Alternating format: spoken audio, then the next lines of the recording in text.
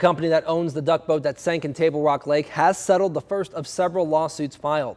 The family of William and Janice Bright from Higginsville, Missouri filed suit soon after the July accident. The couple was two of the 17 people that were that killed that evening. An attorney for the family says the settlement with Ripley Entertainment was finalized Thursday. Terms were not disclosed. Earlier this month, a federal grand jury indicted the captain of the duck boat.